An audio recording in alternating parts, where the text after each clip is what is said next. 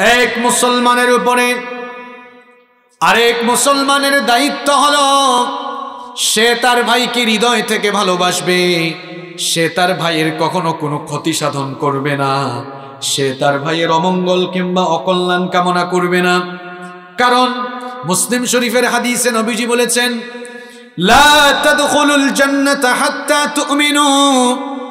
তোমরা ততক্ষণ পর্যন্ত জান্নাতে ঢুকতে পারবা না। যতক্ষণ না তোমরা ইমানদার হয়েছ, ইমান না থাকলে জান্নাতের গন্ধ পাওয়া যাবে না। এজন্য নবীজি বলেছেন, ততক্ষণ পর্যন্ত তোমরা ইমান জান্নাতে ঢুকতে পারবা না।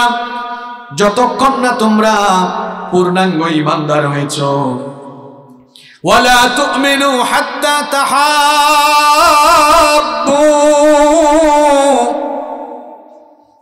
আর ততক্ষণ পর্যন্ত তোমরা পরিপূর্ণ ইমানদারি হতে পারবা না।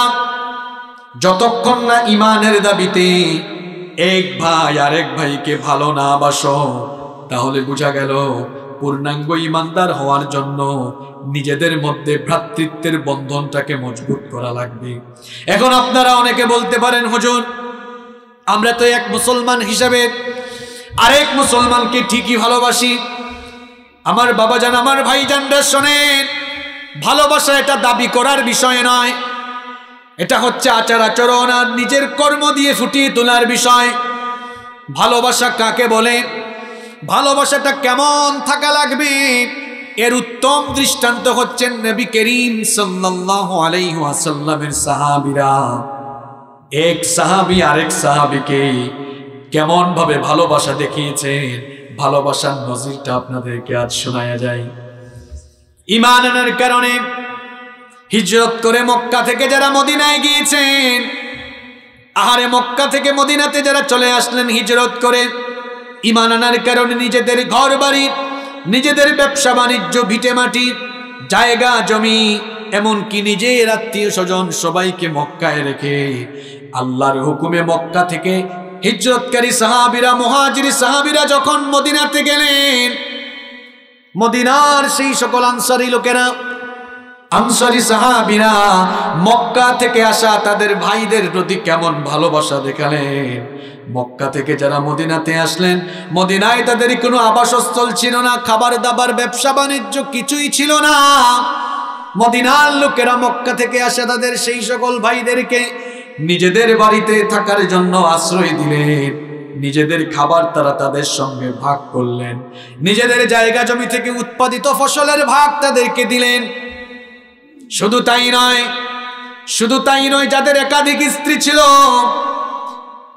একাধিক স্ত্রী যাদের ছিল তারা বউ তালাক দিয়ে সেই বউয়ের সঙ্গে মক্কা থেকে আসা তাদের মহাজির ভাইদের সঙ্গে বিয়ের ব্যবস্থা করে দিয়েছেন সোবাহান এটা ছিল তাদের ভালোবাসা পারস্পরিক ভালোবাসা আল্লাহর কাছে এত ভালো লেগেছে আল্লাহ তাদের ভালোবাসার কথা কোরআনে কারিমে তুলে দিয়েছেন আল্লাহ আকবার কোরআনুল করিমের উনষাট নম্বর সোনা সুরাতুল হাসরের নয় নম্বর আয়াতে রব্বুল আলামিন বলছেন ওয়াল্লাযীনা তাবাওয়াউ الدار والإيمان من قبلهم يحبون من هاجر إليهم إلى آخر الآية আল্লাহ তাআলা বলছেন মক্কা থেকে আসা লোকদেরকে মদিনাবাসী লোকেরা তাদের হিজরতকারী ভাইদেরকে মদিনার লোকেরা তাদের প্রতি ভালোবাসা দেখিয়েছে কি দেখিয়েছে মুখ দিয়ে নিজের বাড়িতে থাকার জায়গা দিয়েছে নিজেদের খাবার শেয়ার করেছে নিজেদের জমি থেকে উৎপাদিত ফসল নিজেদের ভাইদের মধ্যে তারা শেয়ার করেছে। এই ছিল ভালোবাসা। আমাদের ভালোবাসাটা এখন কেমন জানেন? একজন আরেকজনে দেখতে পারি না। আমাদের ভালোবাসাটা এখন কেমন জানেন? একজন কৌমিতে পড়ছে আর একজন আলিয়াতে পড়ছে। দুই ধারার শিক্ষা ব্যবস্থা হয়, একটা আরেকটারে দেখতেই পারে না। আমাদের ভালোবাসাটা কেমন জানেন? একজন আরেকজন থেকে একটু টাকাওয়ালা হয়ে গিয়েছে, বাঁকা চোখে দেখায়। সে তারে সহ্য করতে পারে এটার নাম ভালোবাসা না? ভালোবাসা হলো এক ভাই আর এক ভাইয়ের প্রতি উদারতা লালন করা। ভালোবাসা হলো এক ভাইয়ের প্রতি আরেক ভাই সংকীর্ণতা হৃদয়ে আরোপ না করা। ভালোবাসা হলো এক ভাই আরেক ভাইয়ের জন্য নিবেদিত প্রাণ হয়ে যাওয়া। যেভাবে হয়েছিলেন সাহাবিরা, আমরাও যদি তাদেরকে অনুসরণ করে এক মুসলমান আর এক মুসলমানের প্রতি ভালোবাসা দেখাতে পারি উদারতার আন্তরিকতা লালন করতে পারি। কেয়ামতের দিন এর বিনিময়ে আমাদের মর্যাদা যেদিন আসরের মাঠে বাড়িয়ে দিবেন তিনি কে? মুসলিম শরীফে হাদিস এসেছে, রব্বুল আলামিন কিয়ামতের দিন হাসরের মাঠে বলবেন, আইনাল মুতাহাব্বুনা বিজালালি আল্লাহ তাআলা বলবেন, দুনিয়াতে থাকা অবস্থায় শুধুমাত্র আমার সন্তুষ্টির জন্য যারা এক ভাই আর এক ভাইকে ভালোবেসেছ, তোমরা কোথায় দাঁড়িয়ে যাও? কারণ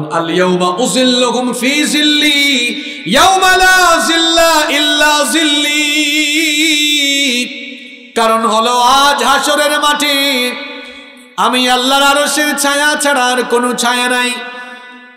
কোনো গাছপালা বৃক্ষরাজি নাই। হাসরের মাঠে সূর্য মানুষের মাথার একেবারে নিকটবর্তী নেমে আসবে। এখন তো নয় কোটি তিরিশ লক্ষ মাইল দূরে। কেয়ামতের দিন সূর্য এক কিংবা দুই মাইল উপরে নেমে আসবে। জমিনটা তামায় পরিণত হয়ে যাবে। হাসরের মাঠে যখন সূর্যের প্রচণ্ড তাপে গুণাগারদের মাথার চান্দি ফেটে, মগজগুলো টকবক করে গলে গলে বেয়ে বেয়ে পড়তে থাকবে। আল্লাহ বলবেন ইমানের কারণে এক মুসলমানকে আরেক মুসলমান যারা ভালোবেসেছ, তোমরা কোনো কষ্ট পাবা না। আমি আল্লাহ ডেকে ডেকে আমার আরসের ছায়ার নিচে জায়গা করে দেব। তাহলে আল্লাহর আরসের ছায়ার নিচে জায়গা পাওয়ার জন্য একই গ্রামে বাস করো আমরা মুসলমান, মুসলমানকে ঘৃণা করব, নাকি ভাই ভাই ভালোবাসা, আন্তরিকতা বৃদ্ধি করব? মনে থাকবে? না, নিজেরা নিজেরা ঠেলাঠেলি করবেন। আল্লাহ বুঝার তৌফিক দান করুন। কষ্ট হচ্ছে আপনাদের? নাম্বার টু দুই নম্বরে হচ্ছে, এক মুসলমান আরেক মুসলমানের উপরে কখনো জুলুম করবে না, অবিচার করবে না, বেইনসাফি করবে না। বুখারি এবং মুসলিম শরীফের হাদিস নবীজি বলেছেন, আল মুসলিম আখুল মুসলিম। এক মুসলমান আর এক মুসলমানের ভাই একজন মুসলমান কখনো তার আরেক মুসলমান ভাইয়ের উপরে জুলুম করবে না। এমনকি এক মুসলমান আরেক মুসলমানকে কখনো জালিমের হাতেও সুপর্দ করে দিবে। একজন মুসলমান কোনোদিনও আরেক মুসলমানের ক্ষতি করবে না। কখনো একজন মুসলমান হয়ে আরেকজন মুসলমানের ক্ষতি সাধনের চেষ্টাও করবে না। কিন্তু আমরা স্বার্থের কারণে, দুনিয়াবি কারণে অনেক সময় মুসলমান হয়ে মুসলমানের ক্ষতি সাধন করে বসি। এই জবান দিয়ে আমরা মানুষের ক্ষতি করি, মুসলমান ভাইয়ের ক্ষতি করি, ইজ্জত, সম্মান, মুখ দিয়ে নষ্ট করি। এজন্য তো নবীজি বলেছেন, ওই যে বুখারির ওই হাদিস আল মুসলিমু মান আল মুসলিমুনা মিন লিসানিহি ওয়া ইয়াদিহি সেই হচ্ছে প্রকৃত মুসলমান, সেই হচ্ছে সাচ্চা খাঁটি মুসলমান। যেই মুসলমানের জবান, জবানের অনিষ্টতা থেকে অন্য মুসলমান নিরাপদ থাকে। তা আপনার জবান থেকে তো আরেকজন নিরাপদ নয়, কারণ আপনি এত খারাপ হয়েছেন এত খারাপের খারাপ। আপনি স্বার্থের কারণে এই জবান দিয়ে আরেকজনের বদনাম ছড়ান। আপনি এই জবান দিয়ে টাকা পয়সা ঘুষ টুস খাইয়া এই জবান দিয়ে মানুষের নামে মিথ্যা সাক্ষ্য দিয়ে ভালো মানুষকে অপরাধী বানায় ফেলেছেন। এই জবান দিয়ে আপনি মানুষকে কষ্ট দিয়েছেন, এই জবান দিয়ে গালিগালাজ করছেন, জবান দিয়ে মিথ্যা বদনাম ছড়াচ্ছেন, জবান দিয়ে এক ভাইয়ের বদনাম আরেক ভাই ছড়াচ্ছে। আছে না নাই? তাহলে বোঝা গেল নবীজির কথা অনুযায়ী আপনি এখনও সাচ্চা মুসলমান নন। কারণ আপনার জবানের ক্ষতি থেকে আরেক মানুষ নিরাপদ। এই জবানের অপব্যবহারকারী হবে যারা, কেয়ামতের দিন জাহান্নামি হবে। তারা বলেছেন, মুহাম্মদ সাল্লাল্লাহু আল্লাহ নবীকে একবার প্রশ্ন করা হয়েছিল, মা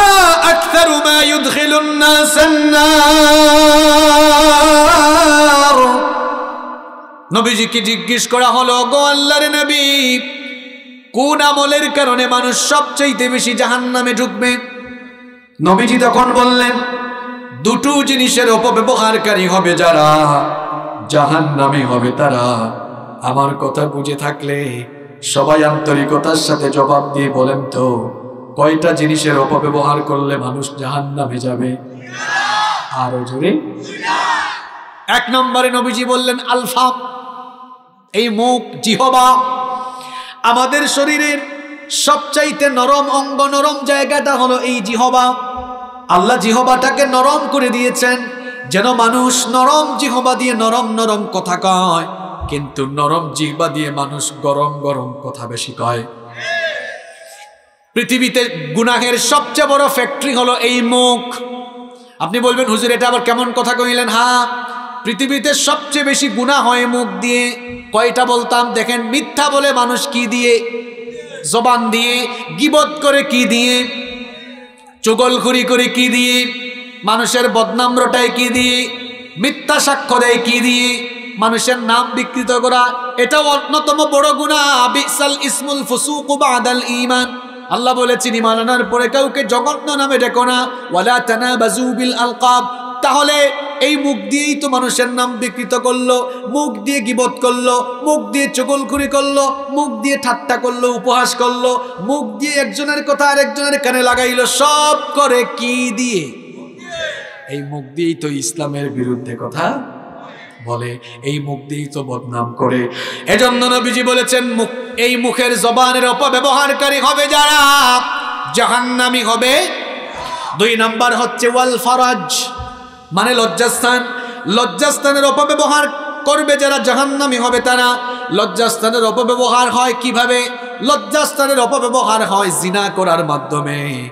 হালাল পন্থায় বিবাহের আগে অথবা বিবাহ বহির্ভূত যে কোনো রিলেশন হারাম করেছেন কে?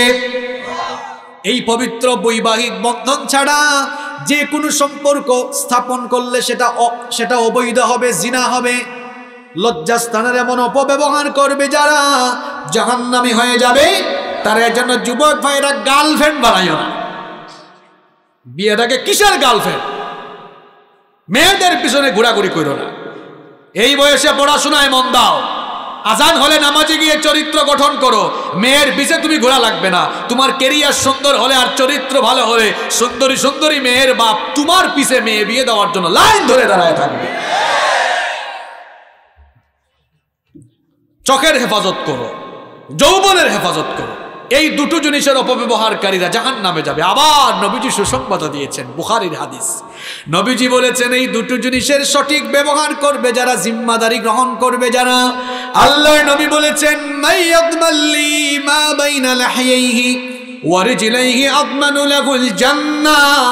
নবীজি বলেছেন, যারা দু চুয়ালের মধ্যবর্তী জায়গা অর্থাৎ জিহবা এবং দু উরুর মধ্যবর্তী জায়গা অর্থাৎ লজ্জাস্থান।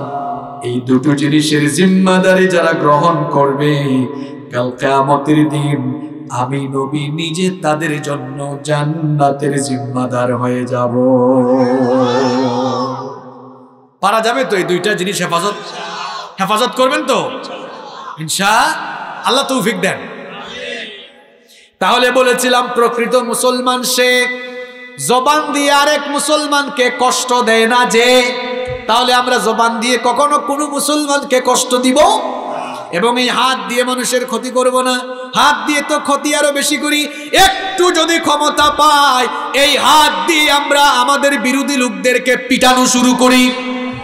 এই হাত দিয়ে আমরা আমাদের ভাইদের উপরে, এক মুসলমান হয় আর এক মুসলমানের উপরে কেমনে জুলুম করি? একটু ক্ষমতা পাইলে এই হাত দিয়া মানুষের জমিন দখল করে তাকে তার জমিন থেকে হাত দিয়া ঠেলায়া বের করে দেই। এই হাত দিয়ে আমরা আরেক মুসলমান ভাইয়ের বিরুদ্ধে আমরা পত্রিকাতে রিপোর্ট করে ফেললাম। এই হাত দিয়ে আর একজনের ক্ষতি করলাম।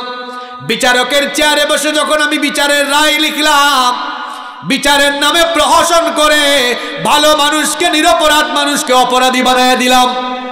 তাহলে বোঝা গেল আমার হাত আরেক মুসলমানের কাছে নিরাপদ নয়। হাত দিয়ে ক্ষতি করে বসলাম। নবীজি বলেছেন, সেই হলো আসল মুসলমান। যার জবান এবং হাতের অনিষ্টতা থেকে আরেক মুসলমান নিরাপদ থাকে, তাহলে এক মুসলমান কখনো তার আরেক মুসলমান ভাইয়ের উপরে জুলুম করবে? অন্যায় করবে না, অবিচার করবে না। আজকের এই আলোচনা থেকে আমরাও সিদ্ধান্ত নিলাম, যতদিন আমরা বেঁচে থাকব এই লাউরি গ্রামে আমরা মিলেমিশে বাস করব। এক মুসলমান আর এক মুসলমানকে কখনো আমরা কারও উপরে জুলুম করব না। রাজি আছেন তো? ইনশাল্লাহ আওয়াজ তো আসতে হইল। রাজি আছেন? আল্লাহ তৌফিক দান করেন। তিন নম্বর হলো কষ্ট হচ্ছে আপনাদের? তিন নম্বর হলো এক মুসলমান আর এক মুসলমান ঝগড়া বিবাদ করে অথবা যে কোনো জিনিসকে কেন্দ্র করে ইখতিলাফ করে কখনো মুসলমান ইফতিরাক অর্থাৎ বিভক্ত হয়ে যাবে। এখন আমাদের নিজেদের ঘরে আমরা নিজেরাই আগুন লাগিয়ে দিয়েছি। গোটা দুনিয়ার মুসলমানরা এখন এক নয়। আমরা কি এক? না ঠেলাঠেলি আছে আমাদের মাঝে? আরও জোরে বলেন। অথচ এক মুসলমানের উপর আরেক মুসলমানের হক হলো, সে তার ভাইয়ের সাথে কখনো সম্পর্ক ছিন্ন করে আলাদা হয়ে যাবে। আমরা কি করেছি এখন? এত ফিরকা বানাইছি। ফিরকা বানাইতে বানাইতে আমরা নিজেদেরকে কোন জায়গায় নিয়ে গিয়েছি? নবীজি কি বলেছেন? নবীজি বলেছেন, আল মুমিনুল মুমিনি কাল বুনিয়ান, ইয়াশুদ্দু বাদুহু বাদা। নবীজি বলেছেন, এক মুমিনের সাথে আরেক মুমিনের সম্পর্ক হবে দেয়ালে থাকা পারস্পরিক ইটের গাঁথনির মতো। আমার কথা বুঝতে আপনাদের কষ্ট হয়? বুঝতে পারছেন তো? এই হাদিসটা মন দিয়ে আপনারা শুনেন। নবীজি বলেছেন, ঠিক আছে ভাই, আলহামদুলিল্লাহ বল, এখন আর পেস লাগাই না প্লিজ আমি তো মেনে নিয়েছি আপনারা মানতে পারছেন না কেন? এক মুমিনের সাথে আরেক মুমিনের সম্পর্ক হবে কেমন?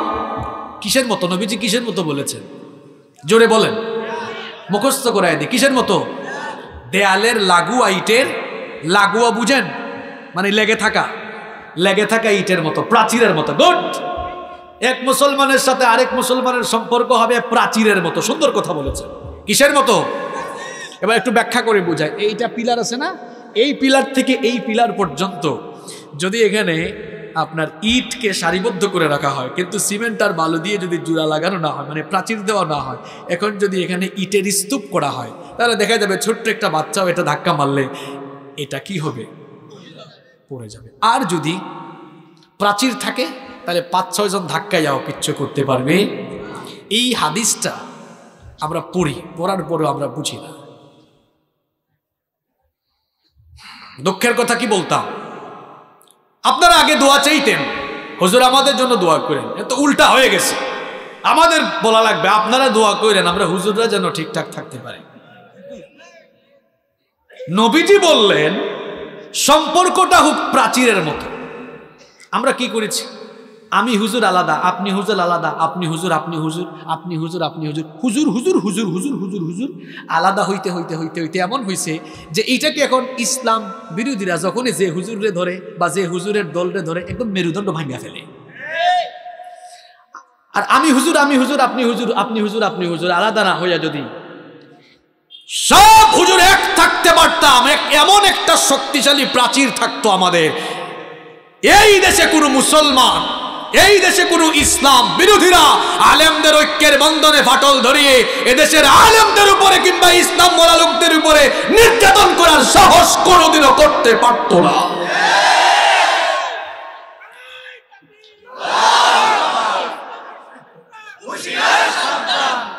আল্লাহ বললেন, এক থাকো।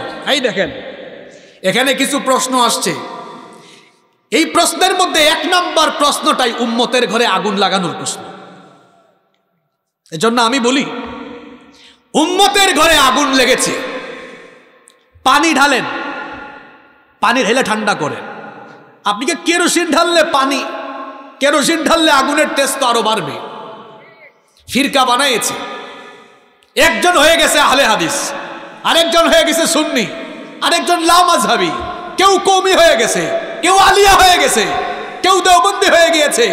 আফসোস লাগে, সবাই নিজেদের পরিচয় দেওয়ার বেলা মোটা গলায় বলে, আমি সুন্নি। একজন বলে, আমি ওহাবি আমি কৌমি, আমি আলেয়া, আমি দেওবন্দি, আমি আলে হাদিস, আমি লামাজহাবি আপনার জন্য আমার লজ্জা হয়। আপনি নিজের পরিচয় মুসলমান দিতে পারেন না। আমার লজ্জা লাগে আপনার জন্য, আফসোস লাগে। একদিন আমাকে একজন ফোন করেছে। ফোন করে জিজ্ঞেস করেছে, কই হুজুর, আপনি কোন জাত? হে যেমন, আমিও তেমন। আমি উত্তর দিছি, ভাই, আমি মানুষ জাত। কয়, হুজুর, এটা আমি বুঝছি। আপনি যে মানুষ জাত, আমি বুঝাইতে চাইছি আপনাকে। ওই যে অনেক জাত আছে না মানে একদম সহজ সরল মানুষ তো। সহজ সরলভাবে আমাকে বলে ফেলেছে, আমি মাইন্ড করি নাই। আমিও ফান, উনি ফান করে, উনি যেভাবে বলছে, আমিও ফান করে বলেছে। আমি মানুষ জাত। কয়, হুজুর, আছে না? কত জাত? আমি বললাম, ভাই, একটু ভেঙে বলেন। ওই যে আলে হাদিস, কৌমি, আলিয়া দেওবন্তি কড়া শুননি মিঠা শুননি ঠান্ডা শুননি গরম শুননি কত কিছু আছে। মাইজবান্ডার, এইটা, সেটা। আমি বললাম, ভাই, আমি কোনোটাই নেই। এ পড়ে গেছে কনফিউশন এতগুলোর নাম বললাম, কোনোটাই কমন পড়ে নাই। তাহলে এই হুজুর আবার কোনটা? আমাকে বলে কি, তো হুজুর, আপনি কোন জাত? আমি বললাম, কোনোটাই তো আমি না, আমি তো একদম যেটা পুরাতন, যেটা মনোনীত সেটার উপরেই আছে। এটা আবার কোনটা? আমি বললাম ইন্নাদ্দিন আইন্দাল্লাহিল এটাই মনোনীত। আমি এই ইসলাম গ্রহণ করেছি, এখন আমার পরিচয় আমি মুসলমান। আর কোনো পরিচয় এর বাহিরে আমাদের কেন আর ভিন্ন পরিচয় থাকবে? আমাদের প্রভু কয়জন? রব কয়জন? নবী কয়জন? কিতাব কয়টা? আমাদের প্রভু এক এক নবীর জীবন বিধানে। ওই শিবানী কুরান আমাদের প্রভু এক এক নবীর জীবন বিধানে, ওই শিবানী কুরান। তবে কেন এক হে মুসলমান? এক হও এক হও, করিয়াও ঐক্যবদ্ধ হওয়ার দরকার আছে? আর কত মার খাইলে এক হবেন? ঐক্যবদ্ধ না হইলে আরও মাইর আছে। বলেন তো আপনাদের সবার হাতে হাতে যদি একটা লাঠি দেওয়া হয়, একটা লাঠি, এটা ভাঙ্গা আপনাদের জন্য কঠিন হবে না সহজ হবে? সহজ তো। একটু মুচর মারবেন, ভেঙে যাবে। এখন যদি সবার হাতে একশোটা একশোটা করে লাঠি দেওয়া হয়, প্রত্যেকের হাতে, ভাঙতে পারবেন? আমার বাড়ির সিলেট আমরা সিলেট কিতা কয় জানেন হয় কুতাকুতি আরম্ভ হইব, তুমি ভাঙতে পারতে নাই। মানে কুতাকুতি শুরু হবে, আপনি ভাঙতে পারবেন? কুতাকুতি বুঝেন আপনারা? ভাঙতে পারবে? আপনাদেরকে হাসানোর জন্য আমি কথাটা বলিনি। একটা লাতি থাকলে হাতে যেমন ভাঙ্গা, একদম সহজ। হুজুর হুজুর আলাদা থাকলে, যখন যারে ধরবে তারে ভাঙ্গা। একশো লাঠি যেমন ভাঙা কঠিন, আমরা সব যদি, আমরা আসুন না। ইতিহাদ মাল ইখতিলাফ ইখতিলাফ থাকুক আমাদের মাঝে। পাবলিক সাইডে নিয়ে আসব না। নিজেরা নিজেরা এক থাকব। মূলটা ঠিক রাখব। কেন? আমরা তো মূল তো ঠিকই আছে। বলেন তো, নামাজ কয় ওয়াক্ত? কোনো হুজুর কি বলছে না, আমাদের কাছে মনে হয় নামাজ ছয় ওয়াক্ত ইখতিলাফ আছে? ফজরের নামাজ কয় রাকাত? কেউ কি বলছে, না, আমাদের তো মনে হচ্ছে ছয় রাকাত এরকম ইখতিলাফ আছে? নামাজ নিয়ে আছে? রোজা নিয়ে? কেউ কি বলছে যে রোজা তো রমজান মাস, আরেকগুলো বলছে, না না না, এটা তো সাবান মাসে এরকম ইখতলাফ আছে? হজ নিয়ে তো ইখতলাফ নাই। কেউ তো বলে, না না, হজ মহরম মাসে। আরেকজন বলে, না সাবান মাসে। আরেকজন বলে, না, আমার ইমামের মতে এটা হলো জিরকত মাসে। এরকম ইখতলাফ আছে? তাহলে নামাজও ঠিক, রোজাও ঠিক, হজও ঠিক। জাকাত এক বছর পূর্ণ হলেই দিতে হবে, কোনো ইখতিলাফ? তাহলে বোঝা গেল, মূল মূল বিষয় নিয়ে কোনো ইখতিলাফ আমাদের আলেমদের মাঝে? তো বাকিগুলো নিয়ে থাকুক, অসুবিধা কি? বাকিগুলো নিয়ে থাকলেও থাকুক, কিন্তু আমরা ভাই ভাই হয়ে থাকব, এজন্যই থাকব, কারণ এদেশের মুসলমান আলমদেরকে এক টেবিলে বসে দেখতে চায়। এটা বুঝেন না কেন আপনারা? যদি না বুঝেন, কপালে ঠাডা আরও আছে। আল্লাহ বুঝার তৌফিক দান করেন। কি একটা কাণ্ড শুরু করছি আমরা। নামাজে যারা আসছে তাদেরকে নিয়ে আমরা মারামারি। যারা এখনও মসজিদের ভিতরে আসে নাই, তাদেরকে কেমনে মসজিদে আনব এটা নিয়ে আমাদের চিন্তাও নেই। কথা বুঝেন নাই মনে হয়? মানে মসজিদে যারা আসছে, এরা কি হাত এখানে বাঁধবে না এখানে বাঁধবে? এটা নিয়ে গবেষণা। এক গ্রুপ আরেক গ্রুপকে পথভ্রষ্ট বানায় দেয়। এটা আমিনটা কি জুড়ে বলবে না আসতে বলবে? মোনাজাত কি করবে না করবে না? মানে গবেষণাটা হচ্ছে নামাজি নিয়ে না বেনামাজি নিয়ে। আরও জুড়ে বলেন। এসব ফালতু গবেষণা বন্ধ করেন। যার মন চায় বুকের উপর হাত বাঁধবে যার মন চায় নাভির উপরে বাঁধবে যার মন চায় জুড়ে বলবে, যার মন চায় আসতে বলবে। কাবা শরীফে এখনও এই নিয়ম কানুন আছে। ইখতলাফ এটা ইসলামের সৌন্দর্য। আপনি নামাজিদের মধ্যে পেশ লাগাইয়েন না। যারা মসজিদে আসে নাই, তাদেরকে গিয়ে ধৈরা ধৈরা ধৈরা ধৈরা বুঝে বুঝে মসজিদে আনেন। এই জন্য আমি প্রায় জায়গায় বলি, উম্মতের ঘরে আগুন লাগছে, আরও আগুন লাগাইতেছে। এটা ঠান্ডা করেন উম্মতকে ঐক্যবদ্ধ রাখার চেষ্টা করেন কারণ ঐক্যবদ্ধ হওয়া ছাড়া রহমত পাওয়া যাবে এজন্য রব্বুল আলামিন বলেছেন فأما الذين آمنوا بالله واعتصموا به فسيدخلهم في رحمة منه وفضل ويهديهم إليه صراطا مستقيما কথাটা কার অতএব যারা ইমান এনে আল্লাহর উপরে ইমান এনে আল্লাহর রজ্জুকে ঐক্যবদ্ধভাবে ধারণ করেছে ফাসাইয়াদখিলুহুম ফি রাহমাতিম মিন ওয়া ফাদলিন ওয়া ইয়াহদিহিম ইলাইহি সিরাতাম মুস্তাকিমা। আল্লাহ বলছেন, আমি নিজের অনুগ্রহে আমার অনুগ্রহ দয়ার ভেতরে তাদেরকে ঢোকাবো আর সুজা পথ তাদেরকে দেখিয়ে দিব। সুবহানাল্লাহ। এক মুসলমান আরেক মুসলমানের সাথে কখনো বিভেদ ঘটাবে? মারামারি করবেন এলাকায়? মুসলমানে মুসলমানে ভেদাভেদ লাগাইবেন? কিছুদিন আগে এক মাহফিল লিখিস কয় হুজুর, গত জুমাবারে মারামারি করে শেষ। বললাম, কি নিয়ে মারামারি করছেন? কয় হুজুর নামাজে জুড়ে বলতাম না আসতে বলতাম। চিন্তা করছেন। কি নিয়ে মারামারি করেছে? আমি আল্লাহর ঘর বেশ কয়েকবার জিয়ারত করার সুযোগ পেয়েছি আলহামদুলিল্লাহ। মসজিদে হারামে মসজিদে নবমীতে অনেকবার আমি নামাজ পড়েছি। নামাজ পড়তে গিয়ে দেখেছি সেখানে কেউ জুড়ে আমিন বলে কেউ আসতে বলে কিন্তু কোনোদিন তারা কেউ কারোর সাথে এগুলি নিয়ে মারামারি করে আপনি করেন কেন? আপনি করেন কেন? আমাদের আসল তো ঠিক আছে। মৌলিক বিষয় নিয়ে কোনো ইখতিলাফ নাই। এই আসলকে ঠিক রেখে আমরা ঐক্যবদ্ধ হয়ে যাব। ইনশা ঐক্যবদ্ধ থাকলে কি হইতো জানেন? ঐক্যবদ্ধ থাকলে আজকে কাশ্মীরে মুসলমান ভাই বোনদের রক্ত ঝরানোর সাহস কেউ পেত না। ঐক্যবদ্ধ থাকলে ফিলিস্তিনে আমাদের ভাই বোনদের উপরে নির্যাতন করার সাহস কেউ পেত। দুইশো কোটি মুসলমান দুইশো কোটি মুসলমান আছে। দুইশো কোটি মুসলমানের মধ্যে যদি শক্তিশালী ঐক্যের বন্ধন থাকতো, আরে কারও উপরে তো নির্যাতন হলে নবীজি বলেছেন, মুমিনের সাথে মুমিনের সম্পর্ক হবে কাল জাসাদ। একটা শরীরের মতো, একই দেহের মতো। দেহের কোনো অংশে যেমন কষ্ট পেলে, দেহের বাকি অংশে এর আঘাত অনুভূত হয়।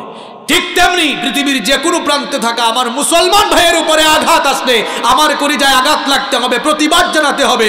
আমরা যদি কোনো মুসলমানের উপরে আঘাত আসলে, ঐক্যবদ্ধভাবে সবাই যদি হুঙ্কার ছাড়তে পারতাম, আমাদের বেশি কিছু নয়। ঐক্যবদ্ধ একটা হুঙ্কারেই এই সকল কাফির মুশরিকদের কলিজার মধ্যে কাপুনি শুরু হয়ে যেত। আল্লাহ বুঝার তৌফিক দান করেন। তাহলে কয়টা বললাম? কয়টা বলছি? এক নাম্বারটা মনে আছে? কি মনে আছে বলেন?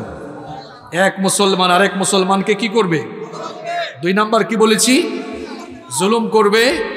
মাশাল্লাহ এরা দুইজন ঠিক আছে, একদম বেশি বেশি আওয়াজ করতেছে। তিন নাম্বার, দেখি দেখি কষ্টে অসুবিধা নাই, কারণ সে নোট করছে।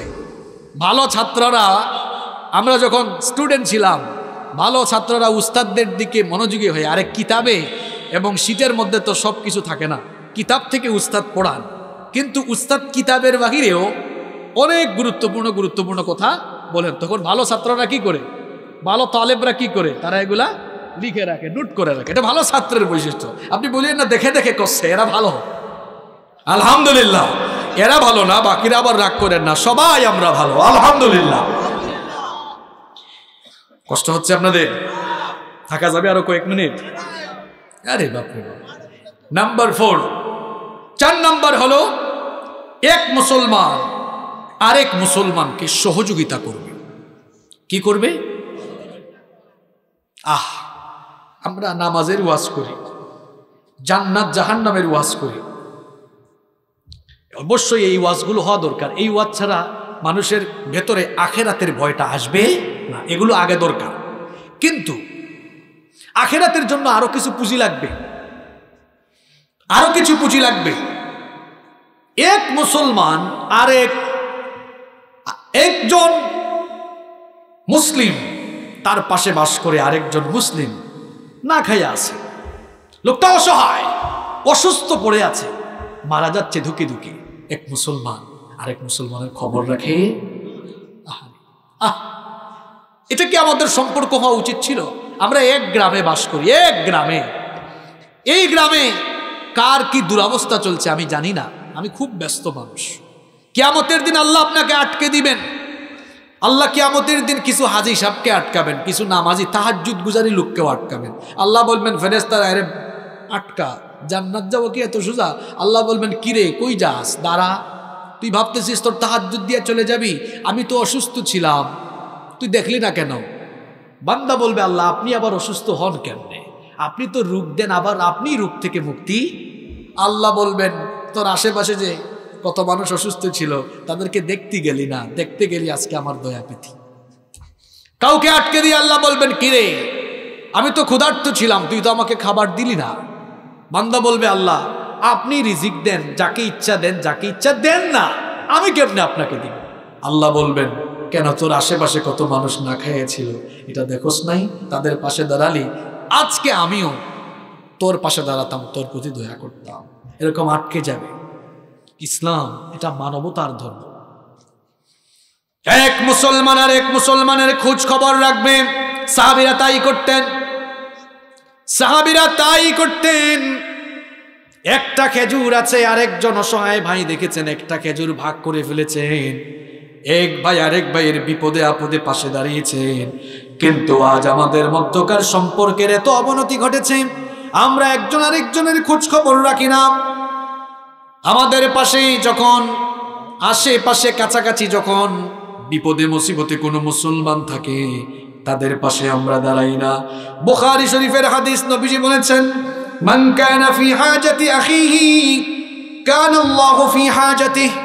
নবীজি বলেছেন, যে ব্যক্তি তার কোনো মুসলমান ভাইয়ের কোনো প্রয়োজন পূরণ করে দিবে আল্লাহ ওই ব্যক্তির প্রয়োজন পূরণ করে দিবে।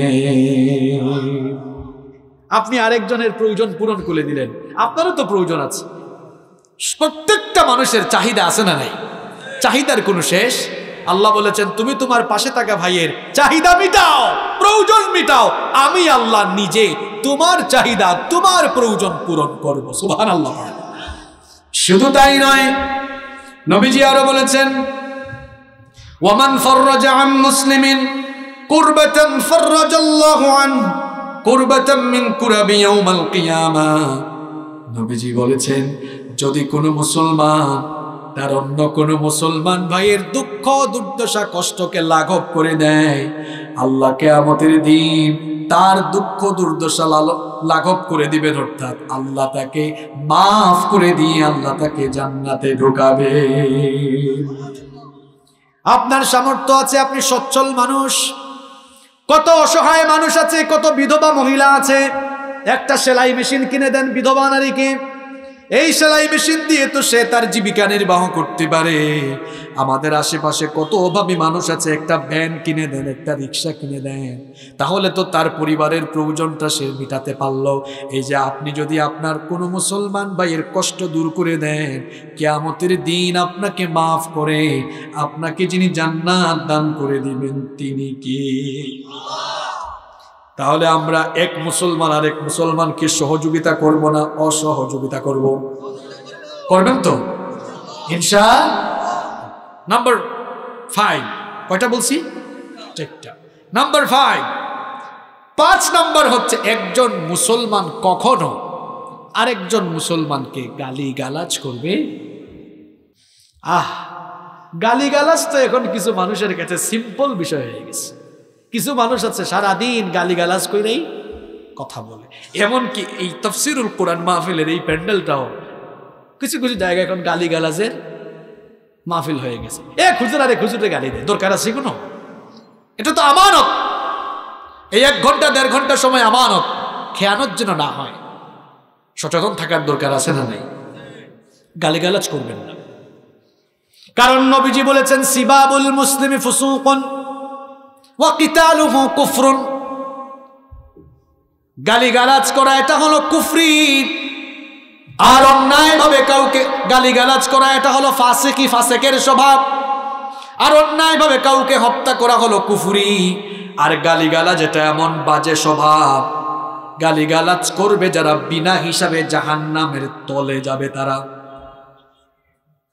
বলেন, গালিগালাজ করবে যারা কোথায় যাবে তারা। জাহান্নামের? আপনি বলবেন, হুজুর, এটা আবার কেমন কথা কইলেন? শোনেন, আল্লাহর কোরআন দুনিয়ার মানুষকে চার কাতারে দাঁড় করিয়েছে, কোরআন মানুষকে কয় ভাগে ভাগ করেছে? আরও জুড়ে বলেন। এক নম্বর হলো মোমেন, দুই নম্বর হলো মুশরিক, তিন নম্বর হলো মুলহিদ, চার নম্বর হলো মুনাফি তাহলে কোরআনের ভাষায় মানুষ কয় প্রকার? এক নম্বর মোমেন মোমেন কারা? ইমানদার? দুই নম্বর মুশরিক মুশরিক কারা? আল্লাহর সাথে শির করে। তিন নম্বর মুলহিদ মানে নাস্তিক, অর্থাৎ আল্লাহকে বিশ্বাস করে না যারা। আর চার নম্বর কি?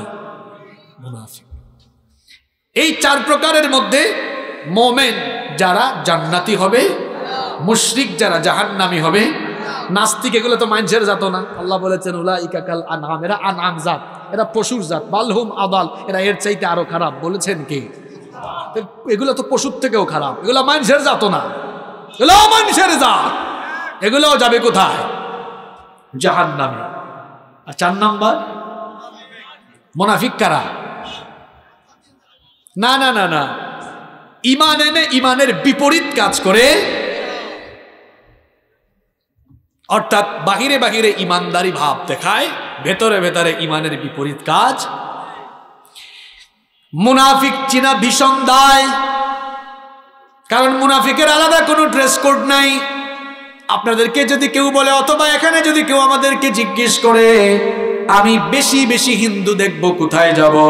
অনেক বেশি পরিমাণ হিন্দু দেখতে চাই, আমরা বলব, আমাদের প্রতিবেশী দেশ ভারত সফর করে, কোটি কোটি হিন্দু সেই দেশে আছে না নাই?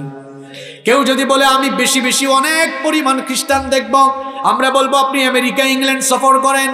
কেউ যদি কয়, আমরা অনেক পরিমাণ বৌদ্ধ দেখব। বলব, চীন আর মিয়ানমারে যান। কেউ যদি কয়, আমি অসংখ্য পরিমাণ ইহুদি দেখব। বলব ইসরায়েলে যান। কিন্তু কেউ যদি কয়, আমি মুনাফিক দেখতাম, কোথায় যাইতাম? মনিরামপুরে নাই? না, মনিরামপুরে নাই। কেউ যদি কয়, আমি মুনাফিক দেখতাম, কোথায় যাইতাম? আমি বলব, যেখানে মুসলমান আছে সেখানে যান। কারণ মুসলমানের সমাজে মুসলমানের লেবাস ধরে কিছু কিছু লোক তলে তলে ইসলাম জবাই করে মুনাফিকি করছে। এখন মুনাফিক চিনবেন কেমনে? কারণ মুনাফিকের কপালে তো লেখা নাই, আমি মুনাফিক। মুনাফিক তার পিঠের মধ্যে সাইনবোর্ড লাগায় নাই, আমি মুনাফিক। তাইলে মুনাফিক চিনতে হবে তার স্বভাব দিয়ে, তার চরিত্র দিয়ে। মুনাফিকের স্বভাব চরিত্র আছে কোরআনে, আছে হাদিতে। মুনাফিকের স্বভাব চরিত্রগুলো বর্ণনা করেছেন আল্লাহ আর হচ্ছেন রসুল্লাহ সাল্লাল্লাহু এখন মুনাফিকের অনেকগুলো খাসলত আছে, যেমন হাদিসে আছে, ইদা হাদ্দাথা কাদাবা, যখন সে কথা বলে, মিথ্যা বলে ইদা ওয়াদা আখলাফা যখন ওয়াদা করে ওয়াদা ভঙ্গ করে, ওয়া ইদা তুমি না খানা আমানত রাখা হলে তার খেয়ানত করে, আবার মুনাফিকের স্বভাব হলো, ওয়া ইদা খাসামা ফাজারা যখন ঝগড়া করে তখন অশ্লীল ভাষায়, অশ্রাব্য ভাষায় গালি গালাজ তাহলে গালিগালাজ করে যারা মোমেন নয়, মুনাফিক হলো। এবার প্রশ্ন হলো, মোমেন যারা কোথায় যাবে তারা? আল্লাহ বলেছেন, ইন্নাল মুনাফিকিনা ফিদ দারকিল আসফালি মিনান নারি ওয়া লান তাজিদ লাহুম নাসীরা। আল্লাহ বলেছেন, নিশ্চয়ই মুনাফিক যারা জাহান্নামের তলে যাবে, নমরুদ আর ফেরাউনের মতো কুখ্যাত কাফেরেরা যাবে জাহান নামের উপরে, আর মুসলমান নামদারি মুনাফিক যাবে জাহান নামের তলে। বুদ্ধিমানের মতো জবাব দিয়ে বলেন তো, তাহলে কাফিরের চেয়ে মুনাফিকটা ভালো না খারাপ? কাফিরের চেয়ে মুনাফিক হইল খারাপ। তাহলে গালিগালাজ করে যে মোমেন নয়। মোমেন নয়, মুনাফিক সে। আর মুনাফিক যে জাহান নামের তলে যাবে, তাহলে গালিগালাজ করবেন নি, না ছাড়বেন। যুবক ভাইদেরকে একটা কথা বলে, রাগ করো না। বলব? তোমরা তো ফেসবুকের যুগে আইসা ভাই। তোমরা ফেসবুকে এখন যারে তারে গালিগালাজ করো। অনেক সময় বড় বড় আলেমদের ভিডিওতে অথবা বড় বড় আলেমদেরকে নিয়ে আজে মাঝে কোনো কিছু পোস্ট করছে, তুমিও না বুঝে গিয়ে এক লাইন লিখে দিছো। লিখে বলছো, ভণ্ড, প্রতারক, ধোকাবাজ। লিখে ফেলছে না? এই যে বড় বড় আলেমদেরকে, এটা আমার বাবাজানদেরকে বলতেছি না, আপনারা তো বাবাজানরা, চাচাজানরা ফেসবুক চেনেন এগুলো এদের কাম। এই যে তুমি বড় বড় আলেমদের, তোমরা মাঝে মাঝে এমন বড় বড় আলেম, কিছুদিন আগে দেখেছি মুফতি মুস্তাকুন নবী হাফেদাহুল্লাহ ওনাকে নিয়েও তোমরা আজে মাঝে লিখছো। দেখেছি। এই যে আরও বড় বড় আলেমদেরকে নিয়ে মাঝে মাঝে লিখো। তোমরা তো আব্বাজানরা রাগ করে, না, আপনাদেরকে কি আমি বেয়াদবের মতো তুমি করে বলব? এটা ওই ছেলেমেয়েদেরকে বলতেছি। যে তোমরা যে বড় বড় আলেমদেরকে নিয়ে এগুলো লিখো, তোমরা তো ওনাদের ছাত্রের কাতারে বসারও এখনও যোগ্য হয় নাই। আর বলবেন, হুজুর, এটা কেমন কঠিন কথা বলেন। হ্যাঁ ওনারা যে সকল জায়গাতে ছাত্রদেরকে পড়ান দর্শ দেন এরা তো ছোটবেলা থেকে পড়তে পড়তে পড়তে পড়তে ওই বড় ক্লাসে আইসা এই সকল হুজুরদের ক্লাস পেয়েছে। যেমন বিশ্ববিদ্যালয়ের প্রফেসর তিনি কি ফার্স্ট ইয়ারে ক্লাস নেন? ফার্স্ট সেমিস্টার সেকেন্ড সেমিস্টারে ক্লাস নেন? নেন না। যখন আপনি সিনিয়র হবেন থার্ড থার্ড ইয়ার ফোর্থ ইয়ারে যাবেন সিক্স সেভেন এইট সেমিস্টারে যাবেন, তখন প্রফেসররা ক্লাস নেন সিনিয়র টিচাররা উপরে ক্লাস নেন। তুমি যাদেরকে গালিগালাজ করেছ, ওনারা ওই মাদ্রাসাগুলোতে সিনিয়র ওনারা সিনিয়রদেরকে পড়ান। তো তুমি যদি গিয়ে এখন ওই মাদ্রাসায় ভর্তি হও এই সিনিয়র ছাত্রদের কাতারে যাইতে পারব না, একদম নিচের ক্লাসে যাবা। এজন্য বলছি, তুমি যাদেরকে নিয়ে গালিগালাজ করো, তুমি ওনাদের ছাত্রের কাতারে বসারও এখনও যোগ্য না। আল্লাহ আকবার। ভাই, আমিও তো যুবক মানুষ, তোমাদেরকে অনুরোধ করে যাচ্ছি। কোনোদিন এই কাজটা কইরো না। এটা শয়তানের ধোকায় হয়তো তোমরা করে ফেলো। আর কইরো না এটা। কারণ এটা বড় খারাপ স্বভাব রে ভাই, বাজে স্বভাব। এই যে গালিগালাজ করলা যদি একজন মানুষ সত্যিকার অর্থে কোনো ভুল করে, তাও তুমি গালি দিও না। কারণ তুমি গালিগালাজ করলে তোমার ক্ষতি হইল। উপরের দিকে থুতু মারলে মানুষের উপর পড়ে না নিজের উপরে পড়ে। তা আপনি গালি গালিগালাজ করলে নবীজি বলেছেন, গালিটা আগে নিজের উপর পড়ে আপনি যারা গালি দিলেন, তার লস নাই, তার গুনার বোঝা হালকা হবে। আর আপনার গুনার বোঝাটা ভারী। তাহলে গালি গালিগালাজ কইরা নিজের ক্ষতি আমরা করব। আমরা আজ থেকে গালি গালিগালাজ ছাড়বো। আমাদের জবানকে পাক রাখব। পারব তো? না, আওয়াজ তো ছোট হয়েছে। পারব? ইনশা আপনাদের কষ্ট হচ্ছে, তাই না? আমি আর দশ মিনিট সময় দিলে রাগ করবেন আপনারা? রাগ করবেন। তাই প্রতিদিন হলে ভালো লাগতো? আলহামদুলিল্লাহ। আচ্ছা কয়টা বলছি? আরে শোনো, গজলের চেয়ে এগুলা বেশি ভালো। এগুলা তুমি জ্ঞান পাচ্ছ। গজলও ঠিক আছে, এগুলো মাঝে মাঝে মানুষের হৃদয়ের খোরাক হয়। এটা এটা ভালো, এই যে যুবক ছেলেরা আগে গান শুনতে চাইতো। কিন্তু এখন যুবকরা এইসব অশ্লীল আজে বাজে গান বাদ দিয়া এখন যুবকরা গজল শুনতে চায়। আলহামদুলিল্লাহ, পড়বেন না আপনারা?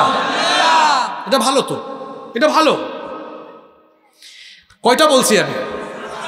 নাম্বার সিক্স ছয় নাম্বার হলো একজন মুসলমান কখনো আরেকজন মুসলমানকে নিয়ে ঠাট্টা উপহাস করবে না। আমরা এখন ঠাট্টা উপহাসকে তুচ্ছ বিষয় মনে করি। যেমন আমাদের আশেপাশে কিছু মানুষ আছে, একটু বুকা সুকা সহজ সরল। আমরা বলি, এ আবুল হ্যাঁ মফিজ যাস?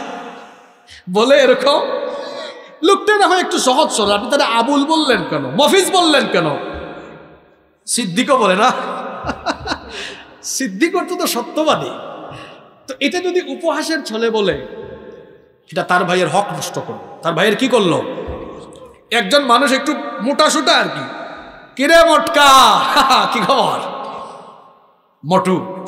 একজন লোক একটু বেটে, বাইটে আর কি। আপনারা কি বলেন? একটু বেটে বেটে। একটু বেটে লোক।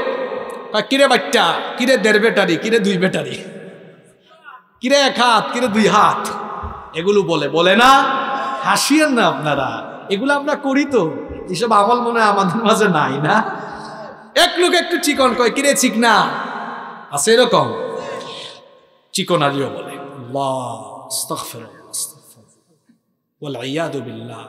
খবরদার ভাইয়েরা, মহিলারাও কিন্তু এই কাম করে। এক মহিলা আরেক মহিলাকে ভেঙায়, উপহাস করে, ঠাট্টা করে খবরদার।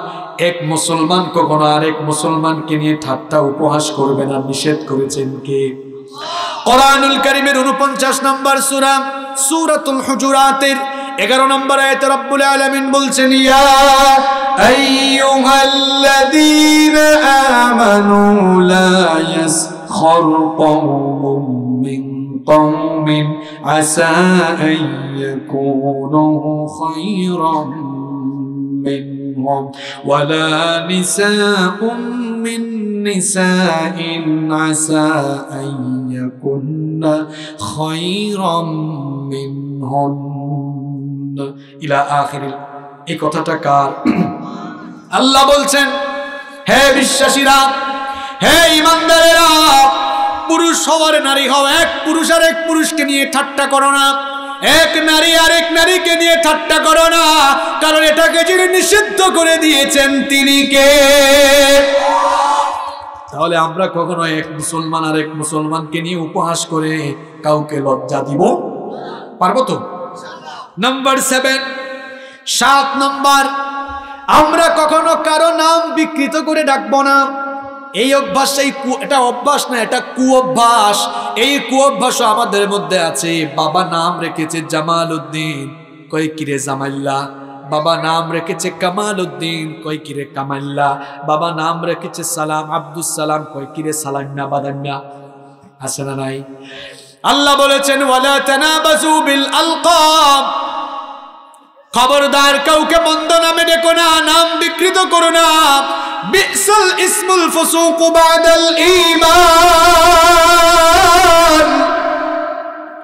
ঈমান আনার পরে কাউকে মন্দ নামে, জঘন্য নামে ডাকা হলো, গুনাহের কাজ বলেছেন কে? আপনি মনে করছেন, হুজুর, এটা তো কোনো ছোটখাটো জিনিস, মাঝে মাঝে আমরা ফ্রেন্ডদেরকে এরকম ফান করে বলি।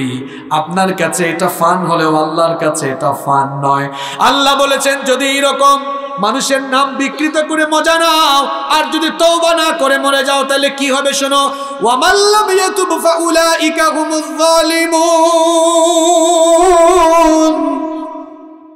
যদি এমন কাজ করে, নাম বিকৃত করে ডেকে ফান মনে করে ফান অবস্থায় মরে যাও, তওবা যদি না করো, কিয়ামতের দিন জালেম হয়ে আল্লাহর সামনে দাঁড়ানো লাগবে।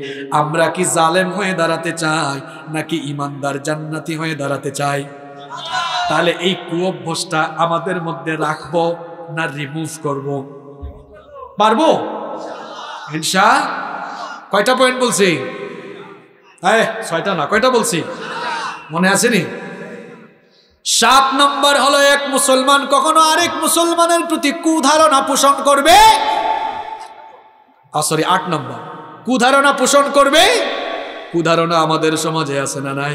দেখেন, এই রোগে বেশি আক্রান্ত আমরা। কুধারণা। দুই তিন বন্ধু একসাথে ছিল।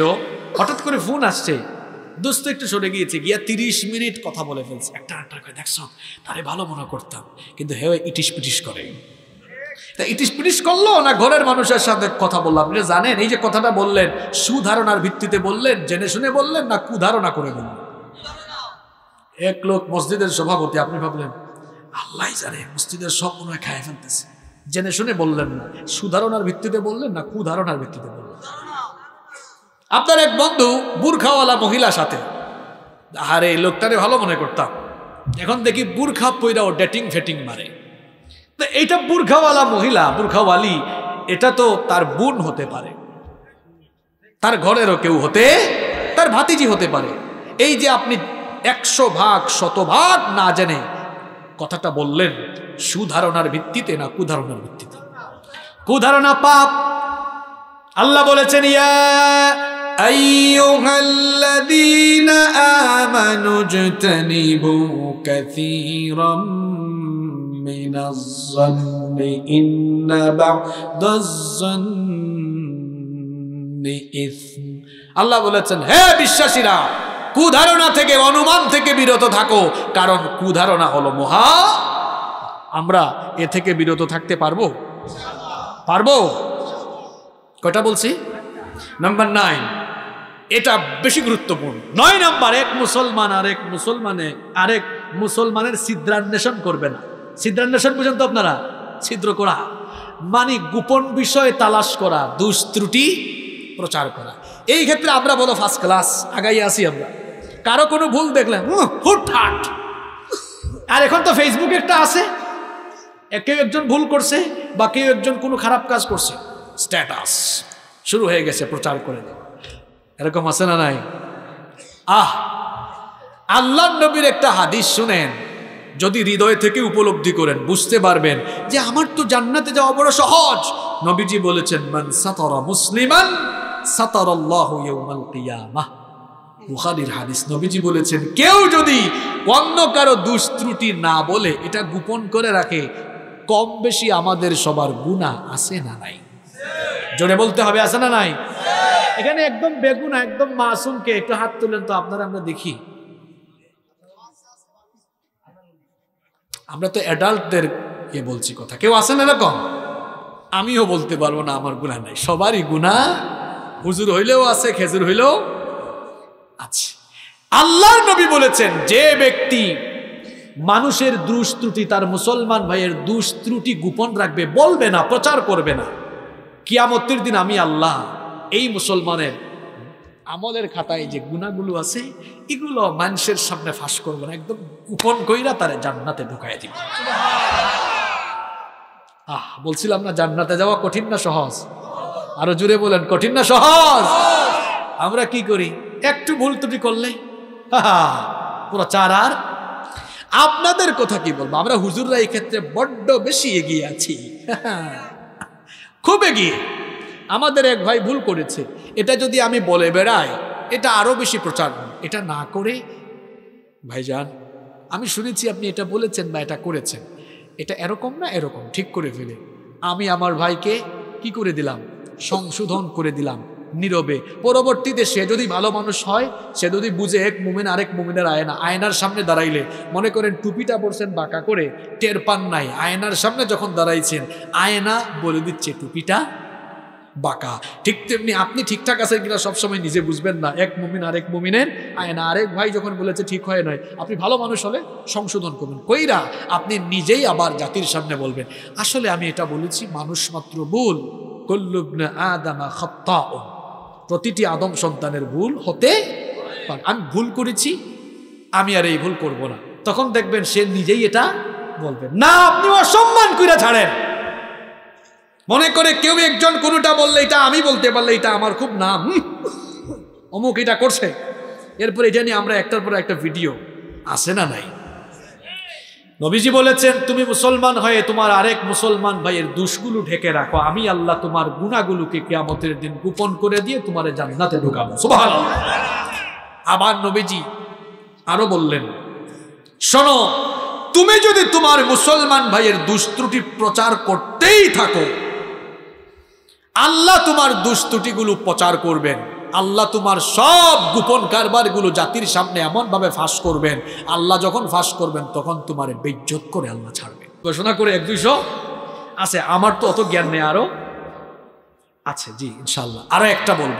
কষ্ট হচ্ছে, আপনাদের উঠে যাচ্ছেন যে? Number ten. দশ নাম্বার হলো, যে নয়টা বললাম, এই নয়টা কি আপনারা মনে রাখছেন? রাখছেন? দশ নম্বরটা, এটা বড় প্রয়োজনীয়। এক মুসলমান আরেক মুসলমানকে হিংসা করবে। হিংসা আমাদের সমাজে নাই তো। হুম? আছে। একসাথেই থাকতাম, একসাথেই চলতাম। হঠাৎ করে সে আমার থেকে একটু এগিয়ে গেছে। এখন হিংসা শুরু হয়ে গেছে। আপনাদের কথা কি বলতাম? আমাদের হুজুরদের মধ্যেও হিংসা আছে। যে হুজুরের মাহফিল বেশি, যার মাহফিল কম উনি ওনার হিংসা করে। যে হুজুরের মাহফিলে মানুষ আসে, তারে একদম দেশ ছাড়া করে। বুঝেন নাই তো কথা আমার? আচ্ছা বাংলাদেশে আটষট্টি হাজার গ্রাম আছে, এত চিন্তা কেন? এখনও পর্যাপ্ত বক্তা নাই বাংলাদেশে। পর্যাপ্ত বক্তা নাই তো বাংলাদেশে। যদি পর্যাপ্ত বক্তা থাকতো, তাহলে সিরিয়ালের জন্য মানুষ লাইন ধরতো। তার মানে এখনও চাহিদা? হিংসা করেন কেন ভাই? আটষট্টি হাজার গ্রামে লক্ষ লক্ষ দায়ী দরকার আছে। কোনো ভাইয়ের মাহফিলে বেশি লোক আসলে আপনি খুশি হবেন এই কারণে। আলহামদুলিল্লাহ, মানুষ নাচ, গান, বাজনা ছাইরা দিয়া মাহফিলে আসতেছে। আলহামদুলিল্লাহ। এটা ভালো বিষয় না খারাপ বিষয়? যেমন, আমি যখন ফেসবুকে দেখি, কোন হুজুরের মাহফিলে কয়েক লাখ মানুষ আসছে, আমি সাথে সাথে খুশি হই আলহামদুলিল্লাহ। কেন খুশি হয় আহারে, এদের মধ্যে তো কেউ কেউ ছিল, গান বাজনাতে আগে যাইতো, হয়তো আস্তে আস্তে এরা চলে আসতেছে। খুশি হওয়ার কথা না খুশি হওয়ার কথা। না, খুশি হওয়ার কথা। হিংসা হলো এমন খারাপ রোগ। এই রোগে যে আক্রান্ত হবে, এই রোগে সে নিজেই জ্বলে পুড়ে একদম মরে। কেমনে? এটা আমার কথা নয়, নবীজি বলেছে নবীজি বলেছেন ইয়া কোমল হাসাদ। হিংসার ব্যাপারে সাবধান হও। ফাইনাল হাসাদা ইয়াকুলুল হাসানাতি কামা কামা তাকুলুন নার। কামা তাকুলুন নারুল হাতাব। নবীজি বলেছেন মুসনাদে আহমদ এবং আবু দাউদে হাদিস এসেছে, নবীজি বলেছেন, খবরদার, হিংসা করো না, কারণ হিংসা এমন খারাপ রূপ, আগুন যেমন আবর্জনাকে জ্বালিয়ে দেয়, ময়লা জ্বালিয়ে দেয়, তেমনি হিংসা তোমার বদ সমস্ত ন্যায় কামলগুলোকে জ্বালিয়ে ছাই করে দিবে। একটু বুঝেন। আপনারা খড় বলেন না খের বলেন? খড়। এখানে কিছু খড় একত্রিত করে আগুন ধরাই দিলে এগুলা থাকবে না জলে ছাই হয়ে যাবে। নবীজি বলেছেন, আগুন দিয়ে যেমন ওই খড়, ময়লা, আবর্জনাকে আগুন জ্বালালে ছাই হয়, মনের মধ্যে হিংসা রাখলে, আপনি যে নামাজ পড়লেন, রোজা রাখলেন, হজ করলেন জাকাত দিলেন, মাহফিলে আসলেন, মাহফিল থেকে গেলেন, দান করলেন সৎকা করলেন, ভালো কাজ করলেন, এগুলো ভালো কাজ না খারাপ কাজ? আগুন যেমন আবর্জনাকে জ্বালিয়ে দেয়, অন্তরের হিংসা তেমন, সমস্ত নেকামলগুলোকে জ্বালাইয়া পুড়াইয়া আপনাকে আমল শূন্য বানিয়ে দেয়। তাহলে হিংসার রোগটা ভালো না খারাপ? এটা আমাদের অন্তরে রাখব, না হিংসা এটাকে বের করে ছুঁড়ে ফেলে দিব? সংকীর্ণতা রাখব হৃদয়ে, না উদারতা রাখব? পারা যাবে তো? আরও একটা হাদিস শোনাই, তারপরে আমরা শেষের দিকে যাব। নবীজি বলেছেন تعرض أعمال الناس في كل جمعة مرتين يوم الاثنين ويوم الخميس প্রতি সপ্তাহের দুই দিন সোমবার আর বৃহস্পতিবার মানুষের আমল নামা ফেরেশ তারা আল্লাহর সামনে তুলে ধরে আল্লাহ তাআলা তখন সব মুমিনদেরকে মাফ করে দেন তারা ছাড়া যে সকল মুমিনরা অন্তরের মধ্যে হিংসা রাখে তাদেরকে মাফ করেন নাকি হিংসা রাখব আমরা? হিংসা? কয়টা পয়েন্ট বলছি? সবক নিব এবার। তবে তার আগে আপনারা বলেন, আজকের মাহফিলে আইসা আপনাদের ভালো লাগছে? খুশি হয়েছেন কারা কারা খুশির দিকে হাত তোলেন? মার্শাল আর একটু উঁচা করেন। এখন আমরা যেহেতু খুশি হয়েছি একটু ভালো কাজ করা দরকার না? শোনেন, একটু ভালো কাজ করা দরকার না? একটা ভালো কাজ করাই। আজকের মাহফিলটা মসজিদের উদ্যোগে হয়েছে না? আমরা মসজিদে কিছু দান করে যাই, কম বেশি যারা আছে সবাই। কেউ উঠবেন না, উঠলে কিন্তু দশ হাজার দেওয়া লাগবে, হাত তুলেন।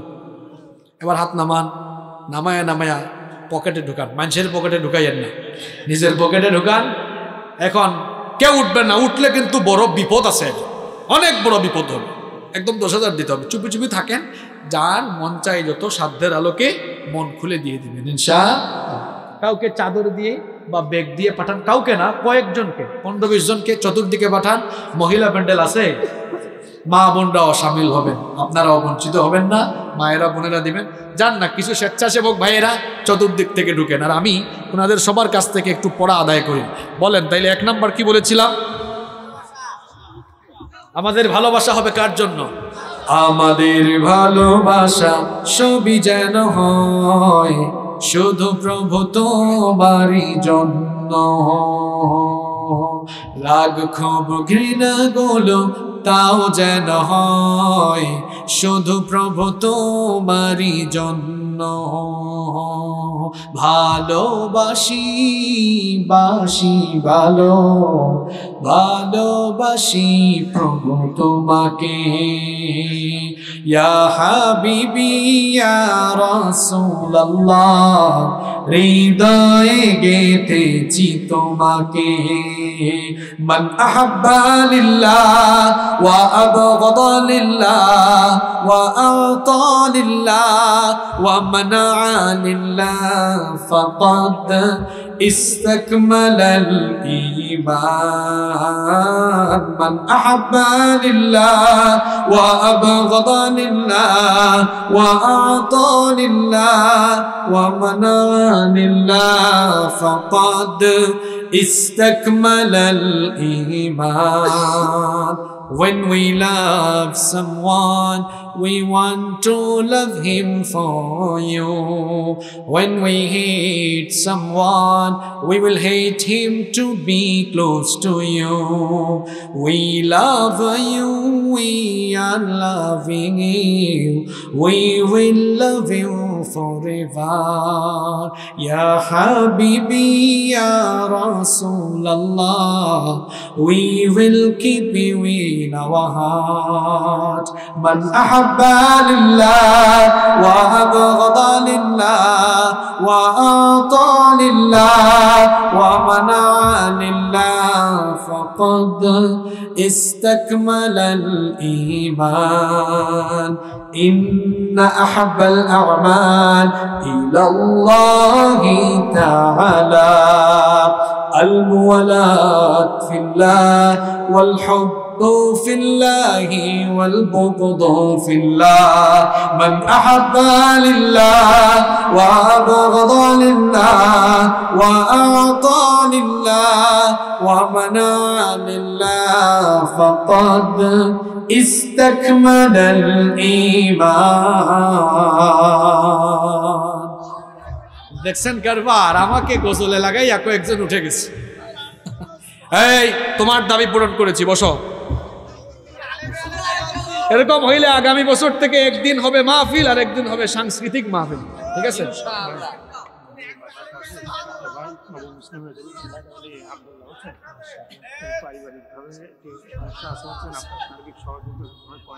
মাসাল্লাহ আমার এক ভাই নও মুসলিম নতুন মুসলমান হয়েছে নাম কি? আব্দুল্লাহ। খুব সুন্দর সুন্নতি দাঁড়িয়েও রেখে ফেলেছেন। নামও সুন্দর। ইন্না হাব্বা আসমা ইকুম ইলাল্লাহ আব্দুল্লাহ। ও আব্দুর রহমান, দুটা নাম আল্লাহ পছন্দ করেন। এর মধ্যে একটা হলো আবদুল্লাহ। এই গ্রামেই বাড়ি। আমার ভাইয়ের প্রতি আপনারা সুনজর রাখবেন এবং ওই যে বলেছিলাম না, প্রয়োজন পূরণ করে দেওয়া। পারব তো ইনশাল্লাহ বসেন। সম্মানিত ভাইয়েরা, দোয়া হবে। মোনাজাত হবে। এই, তুমি বসো। তোমার দাবি পূরণ হয়ে গেছে। মোনাজাত হবে। যারা দাঁড়িয়ে আছেন, বাবাজান, ভাইজানরা, মেহরবানি করে মেহরবানি করে বসে যান। মেহরবানি করে বসে যান। দোয়া হবে। সবার জন্য দোয়া হবে। আগে পড়া আদায় হোক। এক নাম্বার, একজন আরেকজনকে। একজন আরেকজনকে। দুই নাম্বার, জুলুম করবে না। তিন নাম্বার, ঐক্যবদ্ধ থাকব। হিংসা চার নম্বর, সহযোগিতা করব। পাঁচ নম্বর, গালিগালাজ করব না। ছয় নম্বর, ঠাট্টা উপহাস। সাত নম্বর নাম বিকৃত করব না। আট নম্বর? কুধারণা করব না। নয় নম্বর? হ্যাঁ? দোষ ত্রুটি গোপন বিষয়ে তালাশ করব। দশ নম্বর হিংসা। হ্যাঁ আল্লাহ পুলা বাইন দেখছেন, একদম লিখে ফেলেছে। একবার তো হয়ে গেছে আরেকবার আমি কীভাবে বলব? এটা আপনারা পার্সোনালি করে ফিলেন এভাবে ইসলামকে ছোট করেন না আপনারা। করে অনেকে ভাববে যে মুসলমান হইলে ইয়ে পাওয়া যায়। বরং কয়েকজন ভাই মিলে আমার এই ভাইয়ের কর্মসংস্থানের ব্যবস্থা করি। এটা ভালো হবে। আমার ভাইকে আমি এত মানুষের সামনে ছোট বানাবো কেন? ইসলাম মাথা উঁচু করে আমাদেরকে বাঁচতে শিখিয়েছে। ঠিক কি না এই আমার এই ভাইকে সহযোগিতার জন্য প্রয়োজনে কর্মসংস্থানের ব্যবস্থা করতে হলে কয়েকজন ভাই মিলে আজকে তাকে সহযোগিতা করলে ওইটা কয়দিন থাকবে? দুই দিন পরে শেষ ওইটা। কিন্তু আমরা কর্মসংস্থানের ব্যবস্থা করলে তার একটা সারা বছরের একটা স্থায়ী সমস্যার সমাধান। আমার কথা কষ্ট পাইছেন আপনারা? ভাই, রাত অনেক হয়েছে, সবাইকে নিয়ে মোনাজাত হবে ইনশাল্লাহ এই যুবক ছেলেরা, আমার বাবা জানদের কষ্ট হচ্ছে তো।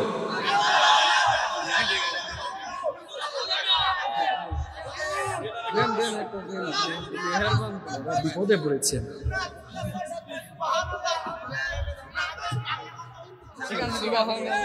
একটা ইসলামী সংগীত হবে। তবে কথা দিতে হবে দুই চার মিনিট লাগবে দুই তিন মিনিট শেষ করতে এর আগে উঠা যাবে না। আসসালামু আলাইকুম। আমি খুব ভালো পাশে বুঝলেন আমরা সবসময় স্টেশন নিতে হতে আমি বাস চাকরি করি যশোর দোকান করতে খুশি বললাম আপনার মিস্টেক আছে আমি একশো টাকা দিচ্ছি খুশি মানে খুব কষ্ট করে ঠিক আছে আমার এক ভক্ত আমাকে কিছু হাদিয়া দিয়েছে। আলহামদুলিল্লাহ। উনি যশোর বিজ্ঞান ও প্রযুক্তি বিশ্ববিদ্যালয়ে চাকরি করেন। যাই হোক আল্লাহ আমার এই ভাইকে কবুল করেন। বলেন আমিন। অসুবিধা নাই। হাদিয়া দেওয়াও সুন্নত নিয়ে ফেলাও। এটা ভালোবাসা দিয়েছে।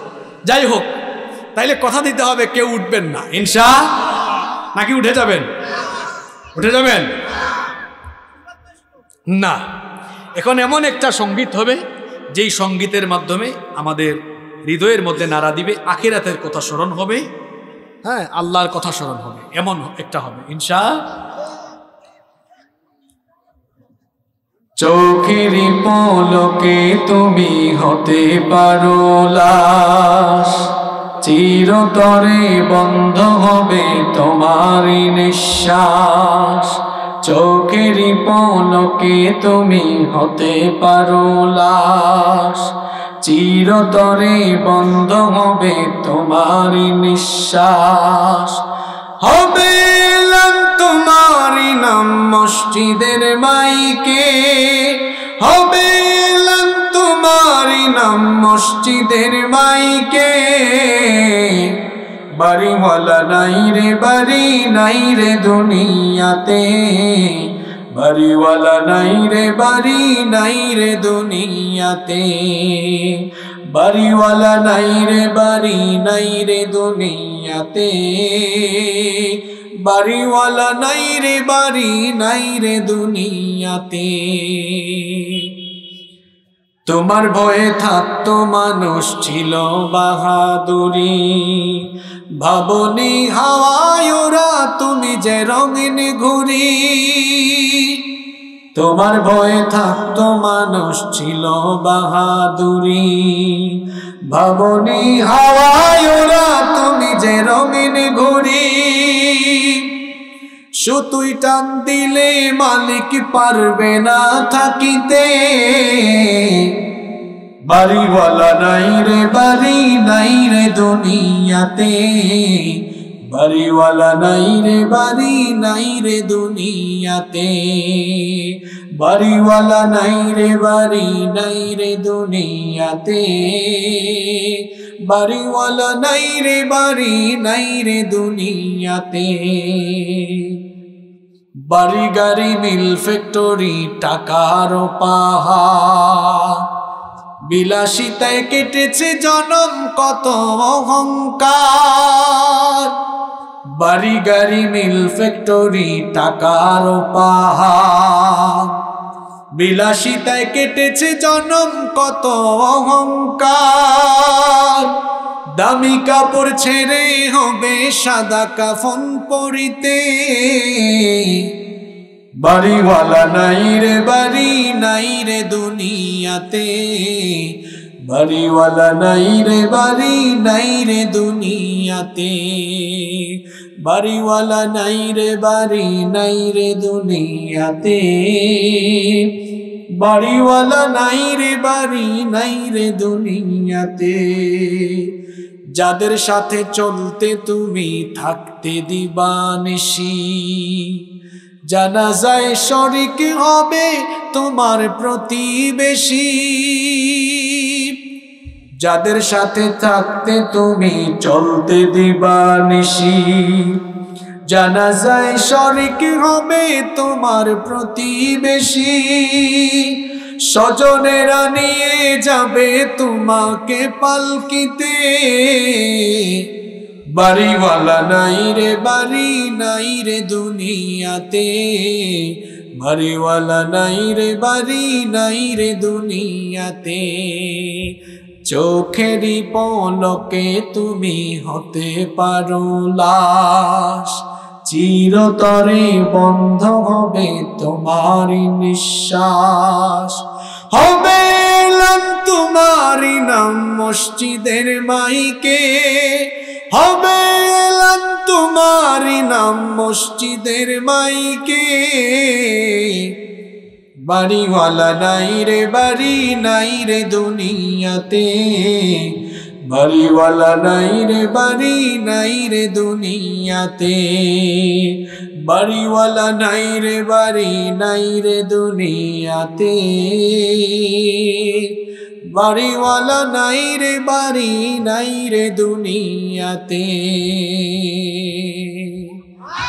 বাড়ি থাকবে, আমরা বাড়িওয়ালারা কবরে চলে যাব। এজন্য কবরের জন্য, মৃত্যু পরবর্তী জীবনের জন্য প্রস্তুতি গ্রহণ করব। আমরা নিজেদেরকে আল্লাহর দিনের পথে ইমানের পথে রাখব। ইনশা আল্লাহ। আমাদেরকে তৌফিক দান করেন। কবি